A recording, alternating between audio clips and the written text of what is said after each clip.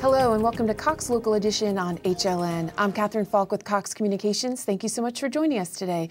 We're so honored to have Congressman Wolf, Frank Wolf join us from the 10th District. You're in your 15th term. Tell us about where the 10th District is. Well, it's basically McLean, Great Falls, uh, all of Loudoun County, then Clarke County, and uh, Winchester and Fred Frederick County. So it goes from basically McLean uh, to the West Virginia line. Wow, large district. Wonderful district, beautiful district, very, very historic. And lots of agriculture as lots well as Lots of agriculture, technology. lots of winery, lots of technology, just a good place. George Washington's first elective office was in our congressional district. He was elected to the House of Delegates from Winchester. Oh, great wow. history, great history. Terrific. Um, I know that you um, serve on a couple of very important committees as well. Uh, we, I serve on the Appropriations Committee. One deals with all the sciences and things like that. The other deals with transportation. Great. And transportation is what we want to talk about today. So everyone in your district is, is uh, affected by transportation and the, the growth in the area.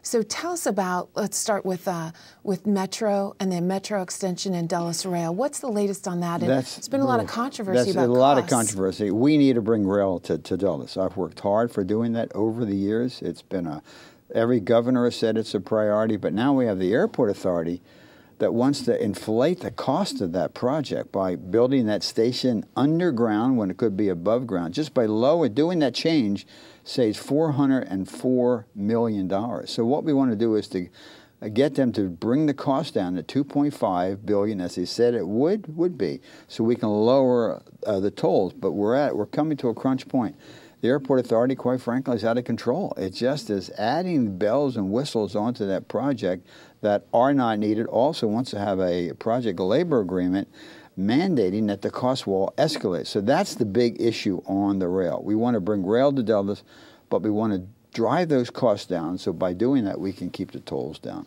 And, and the tolls could go up dramatically if they have their way, right? With this airport authority, you know what the tolls will be in 2018, 2019?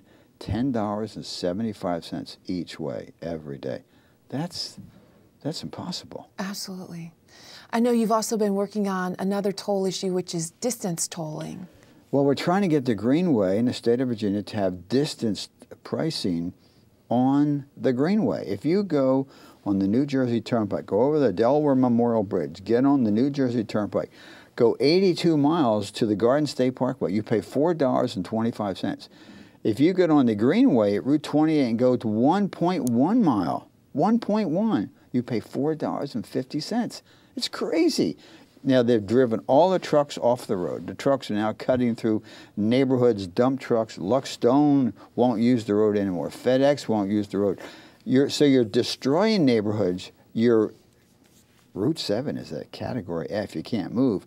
And so we need distance pricing. And uh, to the credit of the Loudoun County Board of Supervisors, they have now advocated, I have joined them, but it is time that we get distance pricing on the Greenway. And I know another big issue for you has been telecommuting. You've done so much to promote that. Well, I think a lot of people are now doing it. We have language in that's passed is law, giving federal employees the opportunity to telework. Most of the private sector are now doing telework. I mean, there's nothing magic about strapping yourself in a metal box and driving 60 miles before a computer when you can do it very close to where you live. And, and hopefully that will help the transportation. That will help the Yeah. transportation, but we should also bring rail to Dulles at the lowest possible cost and have distance pricing on the Greenway. That's great. I know a lot of this information is on your website. is. We very much appreciate you being here today. Thank you. Thank you, and thank you for joining us on Cox Local Edition on HLN. Be sure to follow us on Facebook and Twitter, and have a great day.